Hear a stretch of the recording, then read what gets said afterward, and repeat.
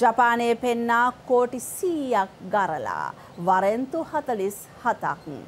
දෙදෙනෙක් රිමාන් කියලත් වැඩිදුරටත් සඳහන් කරනවා.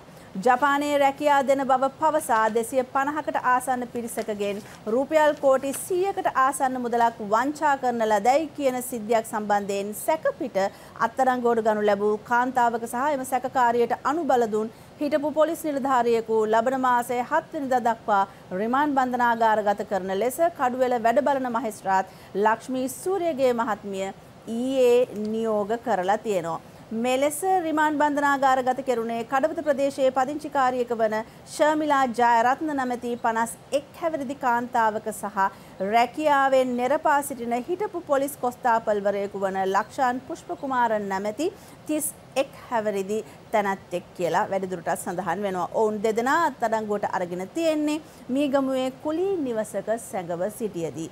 සැකකාරිය සම්බන්ධයෙන් විදේශ සේවා නියුක්ති කාර්යාංශයට විශේෂ වංචා වැටලීම් ඒකකයට පමණක් පැමිණිලි එකසිය අසුවක් ලැබිලා තියෙනවායි කියලත් වැඩි දුරටත් සඳහන් වෙනවා.